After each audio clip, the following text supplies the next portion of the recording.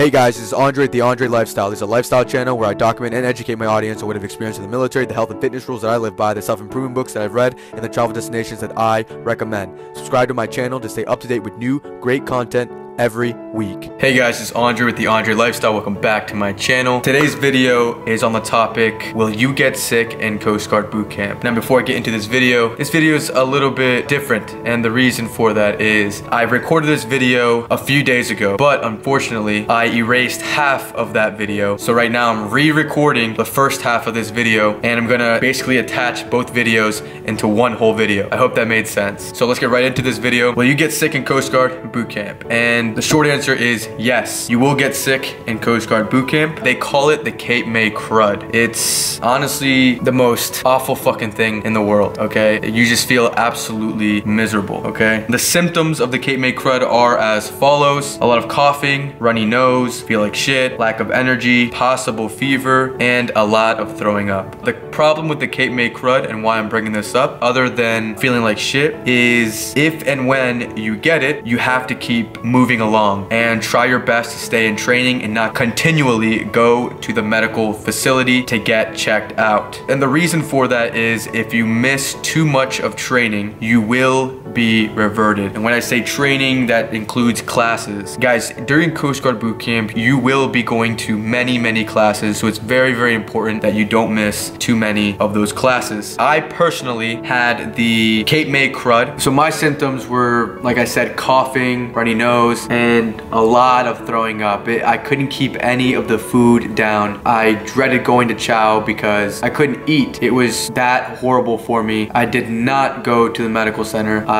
refused to because honestly for me, the biggest fear during Coast Guard boot camp was getting reverted. I refused to get reverted, so I just sucked it up and kept moving on with it. A particular memory that I have of when I got sick was we were all getting beat. And if you don't know what getting beat means in Coast Guard Boot Camp, I suggest you check out one of my vlogs. I think it's the five punishments in Coast Guard Boot Camp vlog where I go into detail on all the different punishments and I describe what beatings are in Coast Guard Boot Camp. Yeah, so I was getting beat and I remember I was doing push-ups and we were counting off during the push-ups and I just felt this urge of just throw up just coming out. And so I immediately just popped up and ran to the, the grass and just vomited everywhere, all right? So you're gonna see that a lot with different recruits. It's a shitty situation, like I said, but you just really need to, to suck it up. So my final advice for all future recruits is it's not gonna be easy. Coast Guard boot camp isn't easy. You're gonna get sick. Now, that's not to say if you have a fever to suck it up. If you have a fever, that's life-threatening threatening. You could die from a fever if you, you don't take the necessary precautions to get better, all right? What I'm trying to say is don't abuse the medical center. Use it if absolutely necessary and you should be fine. You probably won't get reverted. So it's a quick video for Military Mondays.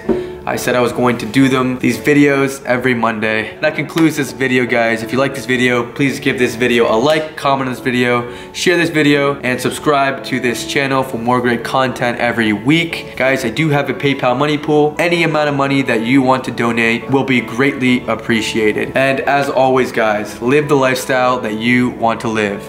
Peace.